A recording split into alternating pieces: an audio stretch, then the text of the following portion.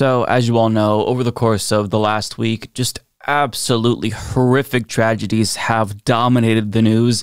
And even though violence is fairly common in America, it does feel like things are getting measurably worse.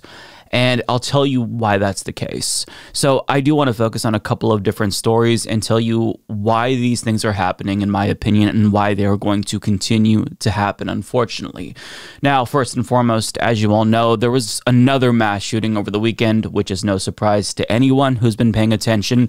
And this time it took place at a mall in Allen, Texas, where a gunman killed eight people and wounded seven before he was fatally shot by police. Now, as the Washington Post explains, the assailant used an AR 15 style weapon and was wearing tactical gear, President Biden said on Sunday. In addition to the weapons found on his body, investigators found five additional guns inside his car nearby, said the people familiar with the investigation. Now, additionally, the shooter was reportedly a neo Nazi, a fact discovered about him by Aric Toler of Bellingcat. And there were lots of posts about Nazis from this individual. This is a photograph of him in a Nazi uniform, presumably. He had Nazi tattoos. On top of that, he was a fan of far right figures like Tim Pool and Libs of TikTok. And additionally, NBC News reports that he made anti Semitic, racist, and misogynistic posts on social media and referenced white supremacist Nick Fuentes, who I'm assuming he was also a fan of. And furthermore, he indicated that he was planning this attack. As NBC News explains, in the weeks before the attack, the shooter posted more than two dozen photos of Allen Premium Outlets Mall, where the mass shooting occurred on Saturday afternoon, and surrounding areas, including several screenshots of Google location information, seemingly monitoring the mall at its busiest times. The shooter also posted a series of links to other sites, including one of a YouTube account with one video posted the day of the shooting. In the video, he removes a scream mask and says, Not quite what you were expecting, huh? Now, that last line was likely a reference to the fact that the shooter here is not white.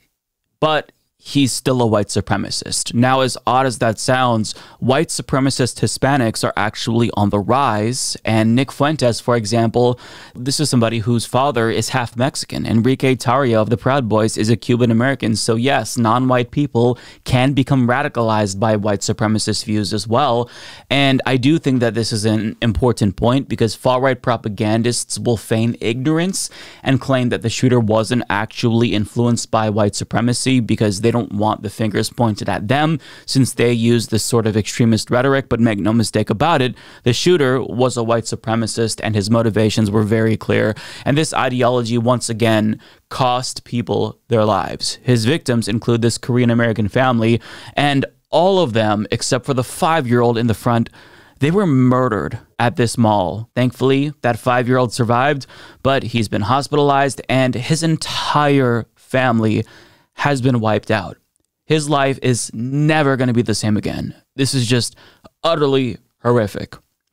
Now, one of the first responders spoke to CNN, and I'm not entirely sure if he's referencing that family, but he described what he saw here, and it is genuinely gut wrenching and almost unbearable to listen to. But I do think that what he says here is important. So let's hear him. As I understand it, you found a child alive with a mother dead protecting that child. Is that right? Yes, I, yes, I did. It, it, it's pretty horrific what I saw. Um, I didn't go with the intent of being a first responder or or helping anybody. I went to find uh, my my son. I was surprised when I drove into the mall that uh, it was um, the parking lot was empty. People were still sheltering in their cars. People were running away from the mall, uh, and there was one man at the scene that had a connection to 911 and he was having trouble describing to them where he was at and what he was doing. So I just kind of jumped in there, gave some directions on where the shooter went. Uh, he gave me a description, and then I started trying to take care of victims. And sadly, the first individual I went to was, uh, and I don't want to be too graphic, but she was uh, she was not able to be saved. I couldn't save the second guy. The third guy actually expired while I was trying to do chest compressions. Oh. The child the child came out from under uh, what I believe was the mother. Might have been a relative. I, I don't know how the relation is, but was started to wander around asking for help, saying, Mom, Mom, Mama, Mama. So I just scooped the child up and took him about 15 feet away so he, he or she couldn't see what was going on. I, there was so much blood on the child, I couldn't tell the sex. I just asked, "Are you okay?" Checked for wounds. I, the first Allen police officer pulled up, and he said, "Good God Almighty." I said, take the child. Is he hurt? I said, I don't care if he's hurt or not. Take him because he doesn't need to be here. So thankfully, the Allen Police Department, this was not a Uvalde situation. The first responders in Allen, Texas, the paramedics, the police officers are truly the heroes. Yeah. The picture that he paints is. I mean, I don't even know what words to use. Like it feels unreal, but it's very real. And this wasn't something that took place in a movie. This was real life. And the sad part is that this is a pretty common phenomenon here in the United States exclusively, but nowhere else. And you already know what I'm going to say, right? It's the guns. We don't need to need to have these disingenuous conversations about it being video games or porn or a lack of prayer in schools. It's the guns. I've said this a thousand times. We need moderate gun control. We don't have to confiscate guns from people right? We don't have to ban guns. We need moderate common sense gun control. But I'm not going to say that again because I already said it. We already know the solution. But don't take it from me. Take it from the first responder who we just heard from because on MSNBC, he was very clear that even though he's a gun owner himself, we can do very simple things and make a huge difference. I don't know what the gunman's problem was. I don't know his motive but it wasn't mental health that killed these people. It was an automatic rifle with bullets. That's what killed them. I'm a gun lover. I have guns. I'm a former police officer. I'm a former Army officer. But these M4s, M AR-15s, they've got to get off the streets, or this is going to keep happening. And we've got to stop that at some point. It could be you. It could be your family member. I never imagined it would be me. I never imagined it would happen in my community but it did. And we've got to stop this type of carnage. And all the politicians are going to make statements. They're going to offer prayers and condolences. Prayers and condolences won't bring these people back. We need some action in our legislatures at the federal and state level for better gun control. And I'm saying that as somebody who loves guns. Yeah. So this isn't some libtard who wants to confiscate your guns. He's saying we need basic common sense gun reform. And I just want to show you this chart here where mass shootings exploded after the assault weapons ban expired. I mean, what we're looking at here is cause and effect, right? Now, it is true that banning assault weapons and high capacity magazines, they're not going to end violence in the United States, but it will reduce gun violence and it could minimize the number of mass shootings and when they do occur could make them less bloody. I mean, there are other countries like Australia who they took action after just one mass shooting and they haven't had another one since. Now, people will lie and claim that Australia banned guns. They did not ban guns. They just implemented common sense gun reform, and the government introduced a gun buyback program. So that way, if you want to turn in your guns to the government, they will pay you for it. It's a choice that they're giving you. But of course, there are people in this country, namely policymakers, who have decided that the bloodshed is worthwhile to keep gun anarchy going in this country.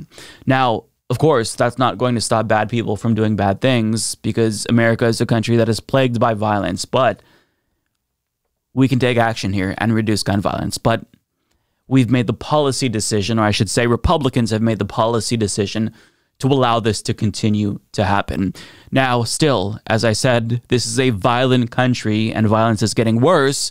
And even if we take action with regard to guns, bad people are still going to do terrible things. For example, as CBS News explains, a driver ran into pedestrians who were standing at a bus stop outside a migrant shelter in South Texas on Sunday, killing at least eight people in an incident that police are investigating as possibly intentional, authorities said. Another 10 were injured, according to Brownsville police. Police did not share detailed information about the victims, but police chief Felix Sauceda told reporters that all of them were men and several were originally from Venezuela. The chief declined to answer reporters' questions about a possible motive for the driver, adding that they have not yet determined if the crash was intentional. He said witness accounts suggesting that Alvarez, the uh, killer here in the car, was cursing at the pedestrians whom he struck and saying that they were invaders were unconfirmed. Now, the killer here is being charged with eight counts of manslaughter and 10 counts of assault with a deadly weapon. And the lingering question is did he just lose control or was this intentional? Did he target these asylum seekers. Now, we don't know for sure if they're asylum seekers, but they were outside of a shelter for migrants. This was the Ozanam Center that's near the bus, bus stop where they were uh, killed. And what Mirna Artiega says, this is the manager of the shelter who sees dozens of migrants per day. We're talking over a hundred. Well, here's what she said about this. These are her words. Quote, it wasn't an accident. Point blank. Now, again, this isn't confirmed yet, but this is somebody who runs a shelter for asylum seeking migrants in a border town. She's probably seen the vitriol firsthand. And while we still don't know all the details, I don't think that it is absurd to think that this person, especially given the reports about him yelling about invaders, decided to take it upon himself to kill people who he thought was invading. The odds of this being a coincidence just seem really low, especially if you watch the video. Now, I did watch the video, and I'm not going to play that, but you can see that he was driving straight towards them. It was a straight line. It wasn't like he was driving and then veered off and swerved. He was headed straight towards them. Now, I'm sharing this story not to make the point that, oh, well, you know, if guns weren't here, then white supremacists and bad people would find other ways to inflict mass death on people. I think that there's an underlying common denominator here with all of these stories. And another one that I want to talk about, the final story here, it took place last week and it involves Jordan Neely, who, as you all know, was killed on a subway last week in New York. Now, it wasn't surprising to see the response from right wingers, but it was still very jar- jarring. And I didn't get to talk about this yet. We addressed this on the Leftist Mafia when Lance debated Tim Pool about this. But to actually see conservatives explicitly defend David Penny, the 24 year old Marine veteran who murdered Neely, I mean, they're just getting so brazen. I'm talking about people like Tim Pool, Matt Walsh. They're openly advocating for vigilante killings of people who they deem to be um, bad people. Now, the individual who uh, killed, or I should say, murdered Neely was David Penny. He kept him in a chokehold for 15 minutes, and I'm going to use the word murdered here specifically because if you're putting someone in a chokehold for that long, I think it's pretty obvious that the intent is to kill. Furthermore, there's no evidence that Neely assaulted anyone. One man unilaterally decided that death was the punishment for aggressive speech.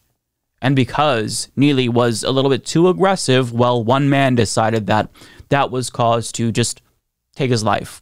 As NBC News reports, Juan Alberto Vasquez, the witness who took the cell phone footage, told NBC New York that Neely got on the train and began to say a somewhat aggressive speech, saying he was hungry, he was thirsty, that he didn't care about anything, he didn't care about going to jail, he didn't care that he gets a big life sentence. Now, listen, growing up, I've been around people who are very clearly having a mental health crisis. I've been around people who were high and tweaking. My family was poor and we were at a food bank one day, and I remember a man pulled out a knife randomly. All of these instances, they're unsettling, right? But not once did I ever think, oh my God, that person needs to die right now. But that's what happened to Jordan Neely. This is an unhoused man. This was an unhoused man who was experiencing a mental health crisis, obviously. But one man decided that man needs to die the penalty for aggressive speech was death. And police decided to just let Penny go. He killed a man. And they let him go. They didn't even arrest him. Now, the tough on crime people argue that his death was his own fault because, I mean, everyone is just sick of crime in America. You know, even though crime is lower, well, since the news talks about it and they've elevated the salience of this, well, Americans are just tired of crime. So, yeah, maybe don't do crime. But the irony is that they don't realize that Neely wasn't the criminal here in this instance. The assassin was. And in a statement released from his attorneys, Daniel Penny admits that Neely didn't actually harm anyone. They admit he was, quote, aggressively threatening people, but never actually accused Neely of physically harming anyone. And they also highlight his, quote, documented history of violent and erratic behavior. And the media also highlighted 40 different arrests. But we need to be very clear here. All of this is completely irrelevant it's not an indictment on Neely. Rather, it's an indictment on the system that couldn't care less about unhoused people or people with mental health crises. But the reason why they bring this up, and the reason why Penny's lawyers brought that up in particular, was to smear the victim, smear the person whose life their client took. And they're trying to justify Neely's death, make it seem as if this white dude was justified in killing this black man on the subway who didn't attack anyone. Do you think that the killer here Daniel Penny did a background check on Jordan Neely while he was using, quote, aggressive speech? Of course not. The only relevant details here are what Neely was doing in that situation, and there's been zero evidence that he posed a physical threat to anyone. And this is what Neely's family pointed out as well in a response to that statement saying, quote, Daniel Penny's press release is not an apology nor an expression of regret. It is a character assassination and a clear example of why he believed he was entitled to take Jordan's life. In the first paragraph, he talks about how good he is, and in the next paragraph, he talks about how bad Jordan was in an effort to convince us Jordan's life was worthless. The truth is, he knew nothing about Jordan's history when he intentionally wrapped his arms around Jordan's neck and squeezed and kept squeezing. In the last paragraph, Daniel Penny suggests that the general public has shown indifference for people like Jordan, but that term is more appropriately used to describe himself. It is clear he is the one who acted with indifference, both at the time he killed Jordan and now in this first public message. He never attempted to help him at all. In short, his actions on the train and now his words show why he needs to be in prison. So there you have it. I don't think I could have put it better myself. What they said here was spot on. Now, in conclusion, I wanted to talk about all of these stories because I think that they're related. They're related tangentially, but they're still related nonetheless. The reason why we're seeing these types of stories more frequently is because, unfortunately, we are now witnessing the breakdown of society. And as government fails to address certain crises like homelessness, mental illness, and gun violence, these things are going to continue to happen and it's only going to get worse. And as violence proliferates, citizens will become increasingly polarized. Many will become radicalized and they'll root for vigilante justice after feeling like the state just isn't meeting the needs of citizens. But while the right digs their feet in and insists that the uh, state supplies more police officers, uh, you know, in these situations and gets tougher on crime, the left once again is going to root for the state to address the root causes like poverty and a lack of a social safety net, a lack of healthcare and mental health care. The problem is that the right, in this instance, in all of these instances, they're always going to get what they want because of the very nature of our system.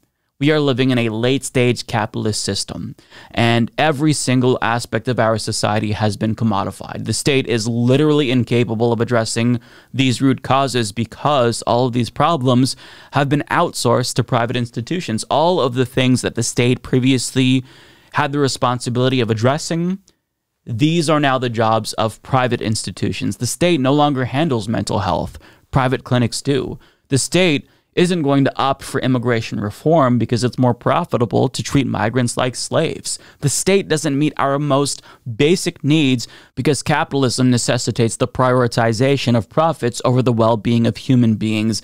And as a result, all politicians can do is opt for short term solutions like more police, more laws to criminalize homelessness and mental health crises. And it's not like that is tantamount to them putting a band aid over an axe wound because all of these solutions are only making matters worse. So, in short, our institutions have failed us, and the state has been incapacitated by late stage capitalism. And as a result of this, society is starting to break down because the state cannot function because every single government responsibility has been outsourced. Every element of society has become commodified. So, this isn't the most rosy conclusion, but I'm not going to lie to you and pretend like things are going to get better because the truth is that until we can get non corrupted, anti capitalist politicians in power to address the root causes specifically here, all of these crises that we're witnessing, they're going to continue and they're going to get worse.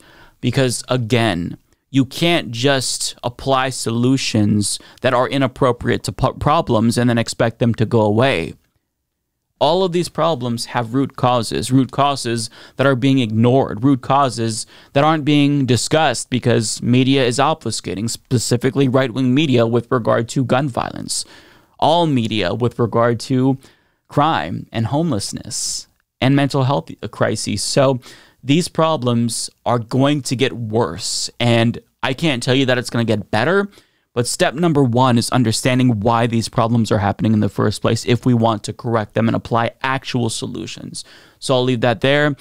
It's really disgusting to see these stories constantly, but I think that a lot of us aren't surprised by this because this is American life. It's the reality of America in 2023, and I don't expect it to change anytime soon.